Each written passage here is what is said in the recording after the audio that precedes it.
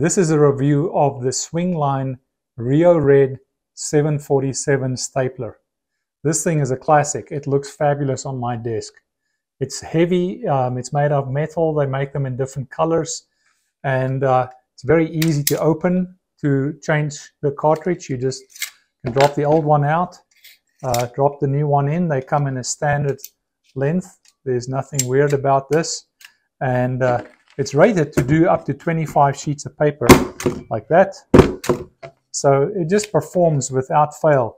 Uh, you can push this lip on the back like that and then open it all the way. If you do have some work where you need to punch down this way, that can also be done. This stapler is definitely in my house.